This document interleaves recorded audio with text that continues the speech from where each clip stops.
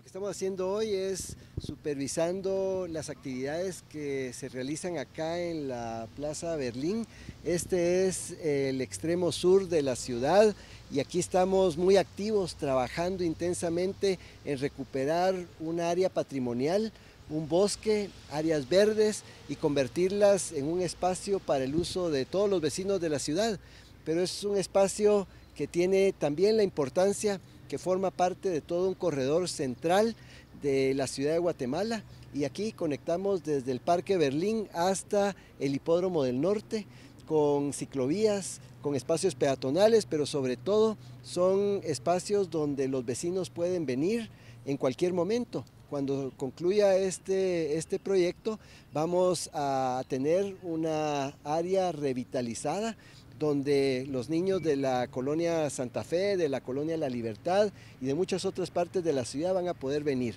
El impacto directo va a ser para más de 30 mil personas eh, que viven en el, en el área, pero en general aquí vienen las familias de la ciudad, los domingos es un lugar de visita en donde hay comida típica, donde hay familias que vienen a volar barrilete en las épocas del fuerte viento. Y bueno, estamos aquí con ese esfuerzo y con esa intención. Y es un testimonio que debemos de dar, especialmente hoy en nuestro país, que hay esfuerzos comunes que dan resultados importantes y que cuando todos nos unimos, así como lo estamos haciendo en la recuperación de este parque, suceden cosas maravillosas. Y eso a favor de nuestros niños, nuestras familias, el medio ambiente, el rescate patrimonial, el rescate de bosques, y eso es lo que está sucediendo aquí en este momento con estos trabajos.